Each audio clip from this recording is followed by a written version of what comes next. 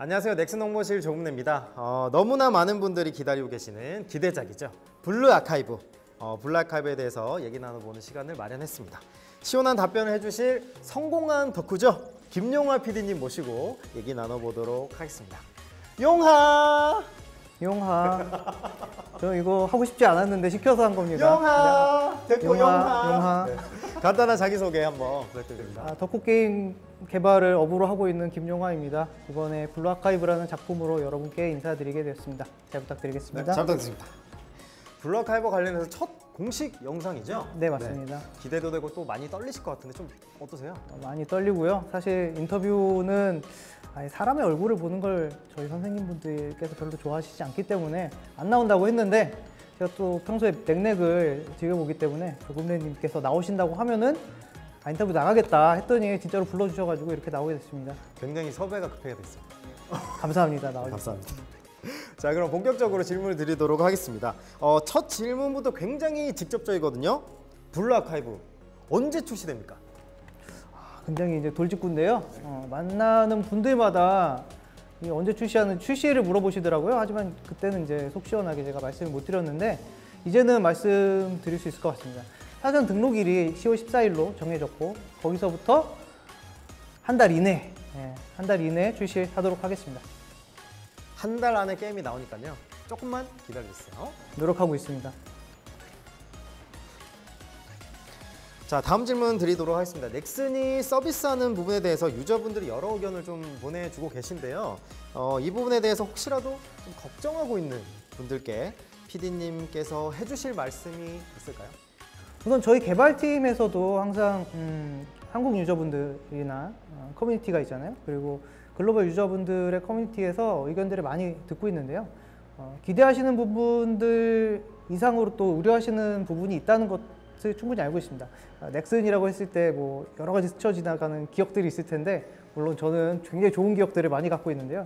한 가지 에, 말씀드릴 수 있는 거는 저희가 사전에 출시해서 서비스하고 있는 기준점, 음, 일본에서 서비스한 그런 히스토리가 있기 때문에 그것보다 어, 여러 어, 선생님들께서 느끼시기에 이제 좀 안 좋아졌다라고 하는 부분이 최대한 없도록 오히려 더 낮게 느끼실 수 있도록 하는 거에 굉장히 주안점을 어, 두고 있고요.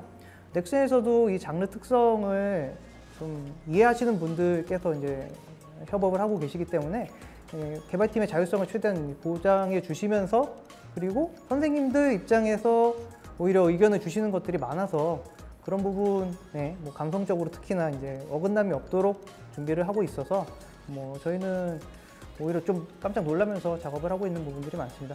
그래서 어, 걱정은 좀 덜으셔도 괜찮을 것 같습니다. 아, 안심하십시오. 블루아카이브는 안전합니다. 네, 안전하다고 네, 주먹을 불끈 쥐고 말씀해 주셨습니다. 자, 다음 질문입니다. 어, 이 질문 또한 굉장히 또 중요한 부분이거든요. 네, 한번 조심스럽게 여쭤보겠습니다.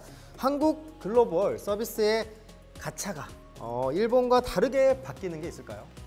어, 픽업 확률 같은 부분이 굉장히 이제 미- 민감한 부분일 수 있는데요. 어, 픽업 확률 같은 이 학, 학생 모집 확률은 모두 동일하게 갑니다. 어, 문제는 확정 모집 보장하는 이 횟수, 어, 일명 이제 픽업 천장이라고 하는 시스템인데요. 일본 출시 당시에 300회로 되어 있었습니다. 이 300회라는 거는 픽업 학생을 300번 동안 이제 모집하지 못하면은 확정적으로 이제 모집할 수 있도록 되어 있는 시스템인데 이것도 똑같이 한국 글로벌 출시할 때 300회로 갈까에 대해서 좀 많은 논의를 했습니다만 어, 여기서 이제 어, 처음 말씀드리는 건데 저는 한국 글로벌에서는 200회로 줄여서 나가기로 결정을 했습니다. 200회로 200회로 줄여서 좀 더 혜택을 올렸다라고 볼 수가 있겠는데요. 네, 뭐 네. 넥스, 이 부분도 사실 뭐 넥슨에서 어, 전향적으로 이제 제안을 해주셔서 저희도 검토해서 최종적으로 그런 결론을 내렸습니다. 어, 굉장히 좋은 소식이었고요. 자, 그럼 다음 질문 드리도록 하겠습니다. 그러면 일본 서비스와 어, 한국 글로벌 서비스 미래시는 어떻게 운영이 되나요? 아, 미래시 이게 전문 용어인데요. 아, 미래시가 없어지는 경우에는 또 기다리신 분들의 기대를 또 저버리는 것이 될 수도 있기 때문에 이 부분도 굉장히 많은 논의를 진행했고요. 음, 그 결과 학생 능력치 같은 중요한 밸런스 요소는 어, 일본 서비스와 동일하게 가도록 어, 결정을 했습니다. 아, 그렇군요. 어, PD님이 지금 대본대로 안 하시는 걸 봐서 굉장히 진실만을 지금 말하고 계신다. 아, 힘듭니다. 아, 진실을 말하는 게 힘드네요. 대본을 작성하시는 담당자가 굉장히 좀 곤욕스러워하는 표정인데 어쨌든 굉장히 진실만을 말씀하고 있다는 점 다시 한번 강조드리고요. 자 다음 질문입니다. 한국 글로벌 서비스에서 일러스트가 바뀐다든지 어, 캐릭터가 수정되는 부분은 없을까요? 아, 일러스트 굉장히 사실 제일 중요한 주- 부분인데요. 어, 블루아카이브 어, 굉장히 건전하고 건강하고 어, 밝은 게임인데 일러스트를 수정을 할 수도 있지 않을까 이 걱정하시는 분들이 또 계시더라고요. 근데 트위터에서 요즘 나오는 것들을 보시면 뭐 짐작을 하셨을 텐데 사전에 이제 캐릭 학생 일러스트를 이제 공개를 하고 있고요. 그대로 나가지 않을까 예상을 하실 것 같고 저희도 어, 지금까지 학생 일러스트를 수정한 것은 하나도 없습니다. 앞으로도 예정하고 있지 않, 않습니다. 아, 네, 알겠습니다. 답변 감사드리고요. 자, 다음 질문 이어서 드리겠습니다. 한국 글로벌 서비스에 대한 소개와 그리고 한국 글로벌 유저들만을 위해서 준비하고 계신 부분 말씀 부탁드립니다. 어, 사전 등록일이 한국과 글로벌이 같은 날이잖아요. 그래서 그걸로 이제 많은 분들이 이제 같은 빌드로 나가는 것이 아닌가라고 짐작을 하셨고 어, 사실입니다. 뭐 구체적으로는 어, 한국어, 영어, 번체, 예, 태국어까지 지원하는 버전을 동시에 출시할 예정입니다. 물론 서비스 시간대나 언어가 다른 만큼 번역별로 서버는 나뉘게 될 거예요. 근데 업데이트는 같은 페이스로 진행하려고 합니다. 일본 서비스에서 뭐 아쉬움이 있었던 좀 안정성 같은 뭐 편의성 같은 부분들은 어, 일본 출시 버전에서 좀 개선된 버전으로 저희가 서비스를 준비하고 있고요.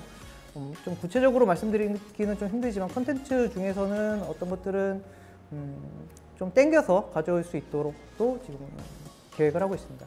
음. 게임 서비스 말고도 준비하고 계신 게 있을까요?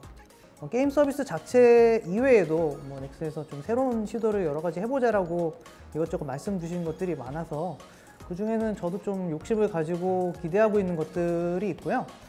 음, 10월 14일 사전 등록 날부터 공개가 될 텐데 시각적으로나 청각적으로나 선생님들의 예, 좀 만족을 드릴 수 있는 여러 가지를 예, 준비를 하고 있고요.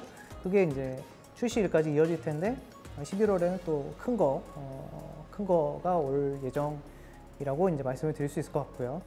혹시 어떤 액션인지 살짝만 알려줄 수 있을까요? 음, 블루아카이브의 신규 OST, 한국 글로벌 전용 OST를 준비를 하고 있습니다. 블루 아카이브가 원래도 음원이 좀 굉장히 좋은 평가를 받았었는데요. 이번에 준비하고 있는 신규 음원도 어, 여러분들께서 만족할 수 있는 퀄리티로 준비를 하고 있습니다. 혹시 이 자리에서 살짝만 네, 공개해 줄 수 있을까요?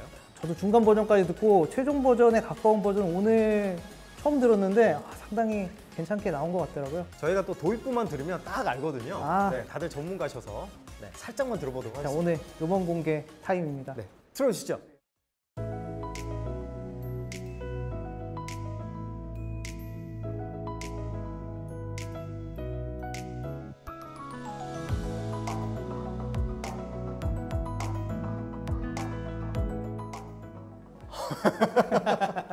아 살짝 들어봤는데 굉장히 서정적이면서 판타지하면서 막 모험하고 싶고 지금 당장 배낭 메고 나가고 싶은 네 아 좀 격리지 그거라서 좀 조심해주세요. 네. 어, 굉장히 어, 가슴을 따뜻하게 하면서 두근거리게 하는 네, 아름다운 곡이 나올 것. 같습니다. 음원을 어떤 분이 부르게 될지 굉장히 또 궁금한데 또 지금 여쭤보면은 어, 대답을 안 해주시겠죠? 어, 아 이게 또 굉장히 또 비밀이라고 하더라고요. 저도 와 아니 이분을 이 아티스트가 뭐 그 이런 정도로? 아, 네, 그분이 이제 불러주셨고요. 뭐 아마 직접 들으시면은 바로 알 수도 있을 것 같은데 뭐 그런 놀라운 뭐 어쨌든 콜라보가 아, 성사되어서 좋은 곡이 나올 수 있을 것 같습니다. 어떤 분이 또 불러주셨을지 굉장히 또 기대를 해보도록 하겠습니다. 자 이제 마지막 질문인데요. 블루아카이브 한국 글로벌 서비스를 기대하는 유저분들에게 마지막으로 한마디 부탁드립니다.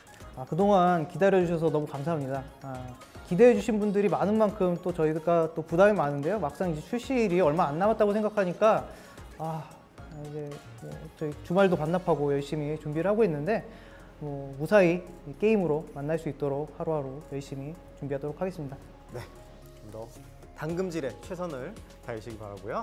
자, 오늘 블루 아카이브 관련해서 여러 가지 얘기를 나눠봤습니다. 조금만 기다리시면은 어, 금방 만나볼 수 있으니까요. 그때까지 많은 관심과 기대 부탁드리도록 하겠습니다. 함께 인사하면서 마칠까요? 네. 시청해주셔서 감사합니다. 감사합니다. 곧 만나요. 용방 안전합니다. 안전합니다. 안전합니다. 용방 용방 용방 용방